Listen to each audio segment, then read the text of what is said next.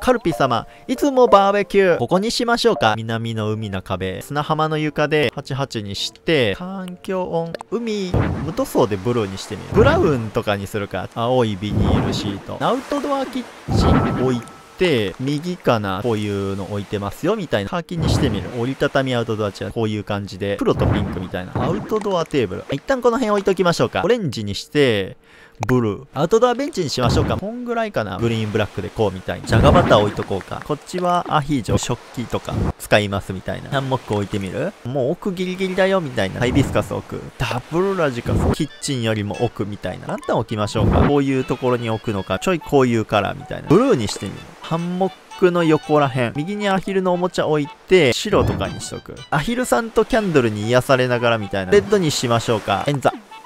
ブラウンとかにしとこうかな。夏の貝殻、サンゴとか、こんな感じで置いてみましょうか。スライムランプにする。パーティー感あるやつ。ここにパームツリーランプあるのいいかな。ここのセットをちょい動かす。ピンク置きたくなっちゃう問題。ウクレレとか置きますか？ブラウンかみたいな。バドモビール置いてみよう。カモメっぽい感じにしましょう。シャワーセットをこっちにこっそり置いとく。ブロンズ置いとこう。空調完備しとく。フルで目立たないような感じで外観も作っていきましょうか。オレンジのストライプやね。パープルホワイトの板壁に黒い素朴などは。お魚にしましょうか。石窯とかで、かまどのキッチン。石窯こう、かまどこうみたいな。黒にしてみる。ここの空間はレンガ引いてますよと。この辺に置いとく。折りたたみアウトドアテーブルとか、ライトブラウン。